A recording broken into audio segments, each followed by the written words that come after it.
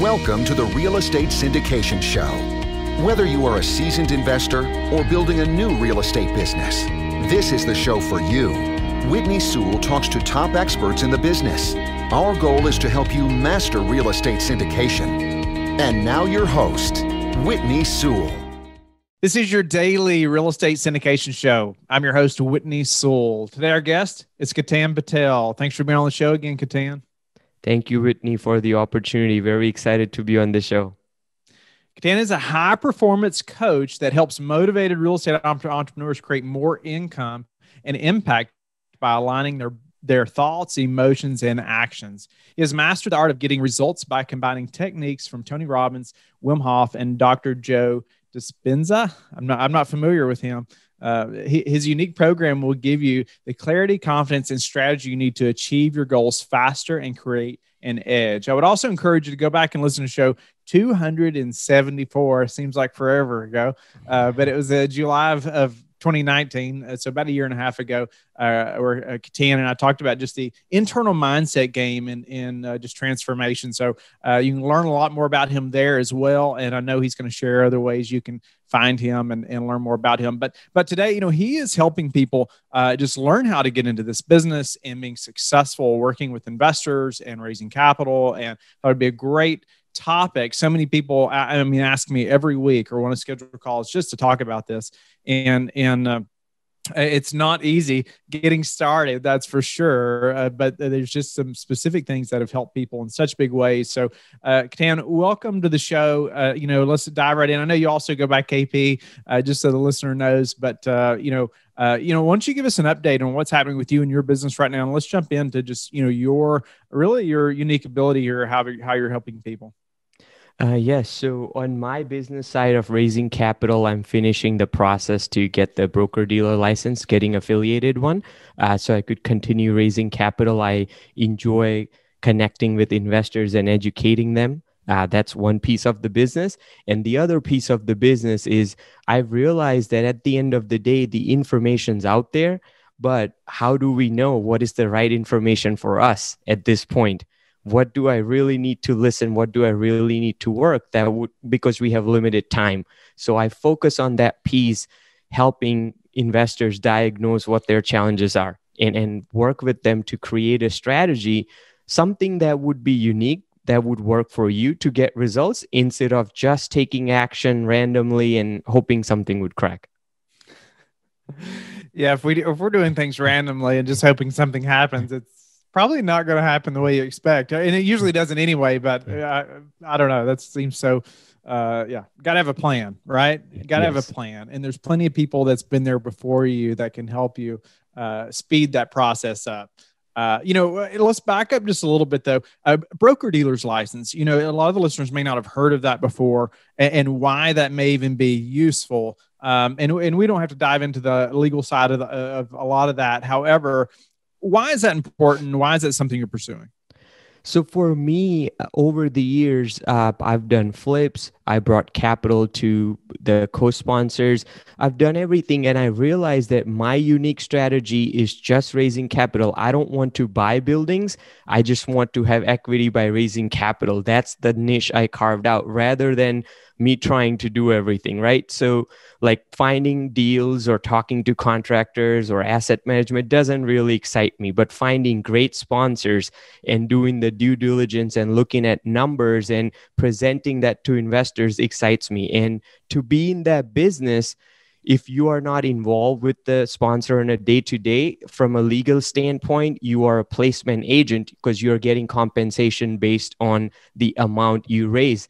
And to do that you need to have a broker dealer working with you uh, to you know follow all the sec and, and finra guidelines. So if your business model if somebody's business model is just to raise money for other people's deal uh, exclusively then you know it would be very important to get this license. And it also opens up the opportunity for you to uh, do more things uh, in in that realm if if your business model supports it.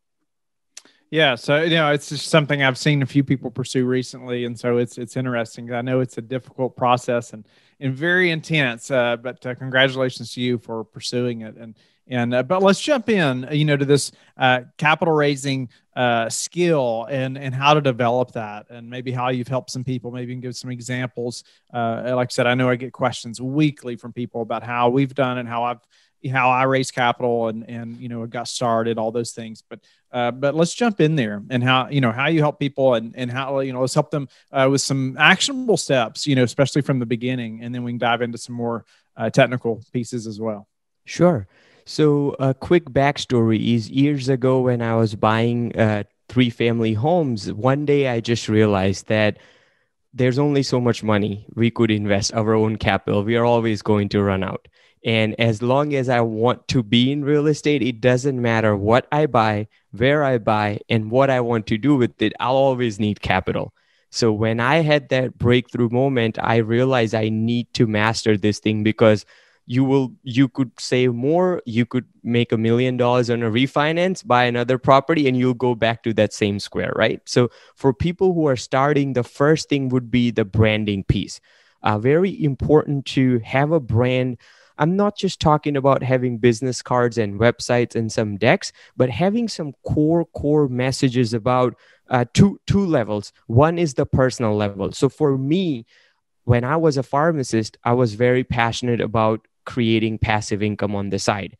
So my message to other pharmacists and doctors and attorneys and passive investors was, hey.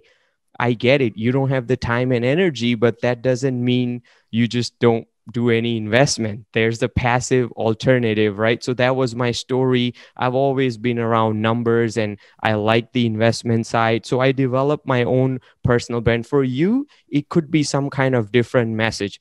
And that's how you really connect with the investors because too many investors uh, do gun jumping. So basically, you are talking about the deal. This is the best market. This is the best return. But what happens is you have not built that trust and connection with the investor. And to build the trust and connection with the uh, passive investors or active investors, you need to have your authentic story out in your brand. So for me, it was, you know, I grew up in India. I came to this country not speaking English. For you, it could be something like, you were not happy with that corporate job or whatever that's you know true that that made you go into real estate, right? So we incorporate that into your branding elements. And then on a business side, you want to communicate those things as well. That, you know what, my philosophy is that you should always have not just using the word conservative underwriting or big metros, but going a little bit into detail. What do you really believe in terms of strategy? So I believe that, you know, a good operation and good management company is just fundamental. Or if an NOI is jumping more than 20%, it just seems too high of a risk. Or I believe in a defined strategy of only looking certain assets in certain markets. Or I believe in an opportunistic view. Whatever your business model and your thought process is, you want to extract some of those points out. So this way, what happens is when investors come across your deck or your uh, call, or your website, you just have the same message going. And the message is kind of based on you and, and connection. Then later on, you could dive into uh, talking about the deals and stuff. Uh, I love that. They're just breaking it down like that. It, it seems simple, right? Uh, but most people do not do those things uh, when they're trying to get started. But it can make such a big difference. And I like how you laid out even your personal story and thinking about like like you coming from a pharmacy background. You know that helps you to niche down as well, doesn't it? Uh, yes. You know, so you don't have just like a just shotgun approach. Uh, you're you're you're going to connect with those individuals with a similar background, uh, and with you, it may be people from India or maybe pharmacists or uh, you know, have have you seen that happen that way? Absolutely. So I definitely think when you start, the next point is to developing an investor profile, which I didn't do in, in the beginning. So when you don't have that clarity, I'm talking to everybody and a lot of people wanted to partner and they they are pulling you in different direction. That happens in the beginning, but when you are very very clear that I'm only looking for passive investors that want to put $50,000 or more into class B apartments with this kind of return structure and this kind of risk profile, it really makes it clear. You have a 10 minute call or your communication, you just know, okay, they are not a good fit doesn't mean everybody would invest and and i didn't knew about this thing so i didn't develop a profile and i'm chasing investors left and right. So having that profile and definitely using an affinity so we all have some kind of base that we are affinity. So if let's say for me it was pharmacy or doctors for you you are such a you're you love golf so much maybe you are in that community right? Maybe you are religious and you have religious communities and things like that. There's always some angle of your life somewhere where a lot of times you know normally you wouldn't reach out. You'll feel like i don't want to reach out. I'm i'm appearing salesy or something like that uh, which which we could talk about later. But that's that's what I would encourage to find that affinity group. Nice. Okay, so we're going to develop our core message. We're going to develop uh, our core messages, and then we're going to develop that investor profile. Uh, you know, what's next? Yeah. So you develop that investor profile. So now you kind of have an idea of, you know, what kind of people you're looking for, right? Now you develop that the the, the launch pad, so as to speak. So the launch pad for most people would be the inner circle. I call it the inner circle. It could be anybody that has, you know, you went to school with, you worked at a previous job and whatnot. Because what happens is those people already know you. Uh, and a lot of them will trust you fairly quickly. So only thing you need to bring to the equation is can they trust your expertise with investments and real estate versus getting a lead from somebody you don't know you need to build that rapport because after all they are putting big amounts of money to work with you. So so developing that inner circle having a quick excel sheet or something like that and not making any assumptions. I reached out to a pharmacy classmate like six seven years later.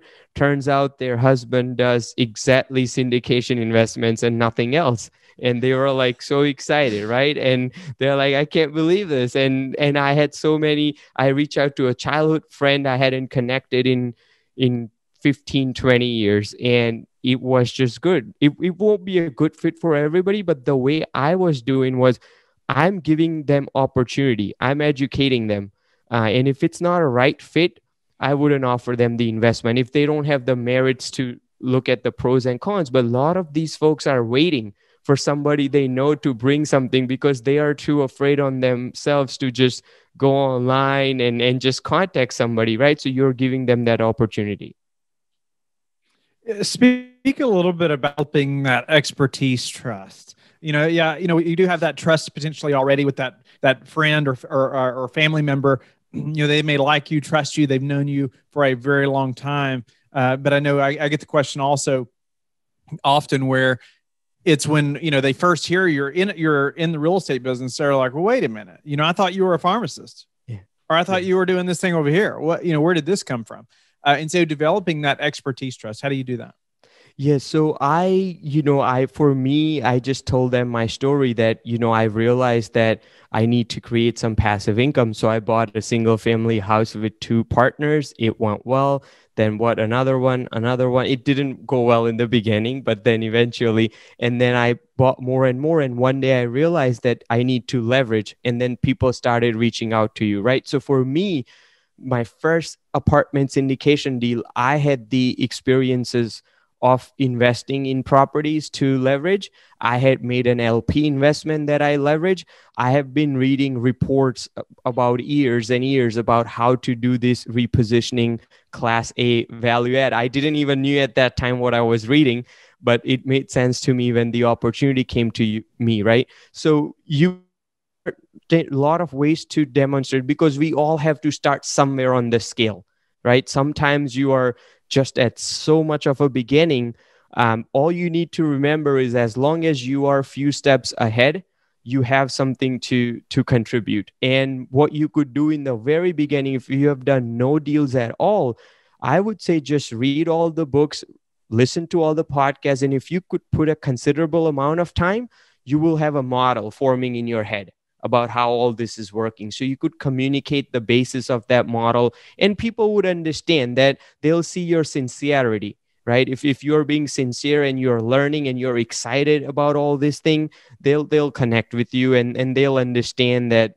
you know you're starting in it. And if you're putting your own capital okay we want to put our capital besides you two or something. Anything else about the launch pad specifically before we before we move on uh, one more thing with the launch pad is also transferring the success. You might have like a sales job where you are doing great or we always have some accomplishments in the past but it's just human nature to forget about it quickly and move on. So as you do all these things you might want to look at past and pick up something that you could bring into your presentation with the investors. So i'll tell investors that okay I'm not the experienced pro real estate investor, but I got a doctor of pharmacy while learning English at an accelerated pace.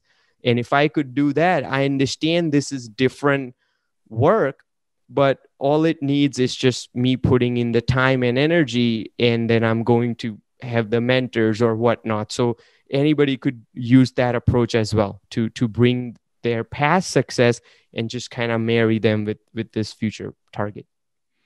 Great advice right there, uh, and yeah, yeah, using that past success, that expertise, showing what you've done. Uh, I wanted to highlight one thing also you said, uh, and, and you said uh, something like this, but as long as you're a few steps ahead, a few steps ahead, uh, you have something to contribute to others. Uh, and I think a lot of times people feel like, well, you know, I just, I don't have any way that I can add value or I don't have any way to connect with people. You know, I don't have any way to help them. Uh, but ultimately, uh, you you probably do have a lot of ways, right? And I think that's a big mindset shift. When no, you know, even if you've just been studying, you maybe hadn't even done a deal yet, but uh, but you've been studying and you've been working harder, and, and you're ahead of that other person that hadn't done anything yet. you know, yes. you have some way to to help and add value. Absolutely, I I agree, and here's the thing if you give that value and forget about them investing or anything but who knows what they'll do with that right? Now you're moving on but you got a little bit of practice and the ways things come back around everything's connected will be surprising. Yeah yeah no that's awesome. Uh, yeah and, and you got better at, at just trying to help right? And putting yeah. yourself out there. Uh, all right so we've gone over the launch pad. Anything what's after that so now you have the launch pad. Now you have done the investor conversations. And what happens with the inner circle is clarifying your message and being good on phone with the investors and you know understanding their needs understanding their motivations understanding their challenges is very very critical it doesn't happen overnight but the beauty is for the people you know and trust from the insider list that we made, it's much easier to connect. You have low pressure situation. So you get the ability to practice these things. So later on, when you have an investor that's considering putting 200,000 in your deal, you don't have to worry about making a blunder or looking like it's it's your fifth call, right? Uh, so after all that, and once you start making these calls, you will start getting feedback um, very very important thing that i tell my clients is sometimes we get so busy taking action that we stop paying attention to the feedback. Anytime you take action you get three kinds of feedback. It's either a positive feedback this is working somebody wants to invest they are interested. It could be neutral nothing shaking or it could be negative right? Negative in the sense of like maybe this is not the right way. So it's very critical to see what messages you are getting the feedback and then based on that you reshape your list or the way you talk or your branding or whatever that particular situation is what are some some things you're using now uh, just to more automate this process of finding investors or nurturing those relationships? I want to move forward just a little bit before we run out of time. You know, those who are already, let's say they've already developed, uh, you know, their core messages and they're kind of at this place now. They are talking to investors. What are some ways that you've automated this process and and just really honed in that that relationship piece? So once this is all done, for me, it has been more one-on-one calls, uh, or, or I've just built a strong relationship. But now I'm moving on automating, making a video course uh, with more details. So even if they are not doing business with me, they are just getting very, very savvy at being passive investors. So either writing articles, a short ebook, some kind of video course you could do any of those things to just keep providing value to your to your investor base and use that when the new leads come in um, so they could just see you as an expert and then you know they're interested in having a call with you Any other ways right now that you are, uh, or, or are there any unique ways right now specifically to you that you're you're finding investors? Um, okay, right now, anything specific? I don't have anything specific. It's just you know an investor from here an investor from here but i do know that i do have a good success with referrals overall in my business uh, i have not even done as much marketing but i realized that I would go above and beyond, and investors have told me when it comes to educating them. So when they tell me they're ready to invest, I'll still tell them about the risk. I'll make sure they understand. I'll be very patient, and they really like that. And then doing some check ins with them. And you know, they are busy, but they appreciate just checking on after the investment here and there. And then naturally, you know, referral uh, referral piece is a big one that I'm working on developing even more. So. KP, do, do you have any daily habits that you are disciplined about that have helped you achieve success? Absolutely. I'm a big, big fan of morning routine. Uh, so over the last three years, I, I, carve out two hours in the morning where I meditate or I do Wim Hof breathing or I'm reading books that really um, inspire you or, or get you thinking about you know the mental sciences the early 1900s anything that jives you so doing all those things writing something just puts you in that state where you are making better decisions and you're more inspired Nice. Two hours. Yeah. And that's a big commitment. I, yes. I couldn't agree more. It's uh, such an important commitment uh, to make. Um, any, uh, or what about any other improvements to the, uh, just to the capital raise side that you want wanted to bring out. I wanted to give opportunity for that. Uh, just or recently, anything that you've learned, uh, just as your business has grown, uh, that you could just help us with also. Yes, for capital raising, what I've learned is that the marketing has to be leveraged now. So if you are doing videos, figure out a way. This is something I'm working on. Uh, from videos, you could get the articles out. From the articles, you could do the ebook. From uh, your podcast, you could take small blurbs out and, and post that, right? So once you put the time and effort into the content, making sure you're getting more mileage from that content and and also systemizing the the content creation process working in batches. This way these things happen versus if they're mixed into your day-to-day business you know you might not have time right? How do you find somebody to help you get more mileage out of your content like that so I've just spent a lot of uh, I've just spent invested a good amount of money with some marketing consultants. So I got the concepts and everything down, and now it's just the execution piece. So depending on where you are, if you're not generating anything uh, content wise, it might be wise to just the step one and being honest with yourself that if you are not going to write just get the writer. If you're not going to edit the videos just just get the right because sometimes it just feels like i'm not sure if this is going to work. Do i really want to invest? But it's all an investment that really you know helps you so. What's the number one thing that's contributed to your success? I would say it's just the mindset in looking at myself and having coaches and, and consultants and them just looking at you differently the way yourself and creating that space to really observe yourself of what needs to be changed what needs to be improved and you know the evolution. Yeah being willing to change is difficult right? Especially in the beginning. Yes. Um, so how do you like to give back I like to give back by I'm working on doing some things in India, like installing like a water filter system to this school. I'm working on making a library there as well. So certain parts where I grew up, there weren't no libraries in schools and things like that. So that has been a passion project that's moving along. So that's really neat. Love that. Uh, just way of giving back like that. Um, yeah, and that's that's really outside the box. Seems like to me. So I, uh, that's neat. Uh, thanks for doing that, KP. Appreciate your time today and giving back to us and really just walking through um, getting started in this business uh, by uh, building those relationships with investors and thinking outside the box, realizing you do have ways that you can add value to people, even if you're just getting started. Most likely, uh, you're still ahead of some people uh, that you could add value to. And, and so, grateful for your time. Uh, tell the listeners how they can get in touch with you and learn more about you. Yeah, thank you so much, Whitney, for the opportunity to share the message and, you know, Uh, really appreciate you taking the time, giving me an opportunity. And listeners could email me at Ketan, K E T A N, at Ketan Patel, dot com, or go to my website, ketanpatel.com. We'll be putting more resources on time management and decision and capital raising and all of the fascinating. And we'll also launching a YouTube channel. So. Thank you for listening to the Real Estate Syndication Show, brought to you by LifeBridge Capital. LifeBridge Capital works with investors nationwide to invest in real estate, while also donating 50% of its profits to assist parents who are committing to adoption. LifeBridge Capital, making a difference, one investor and one child at a time. Connect online at www.lifebridgecapital.com for free material and videos to further your success.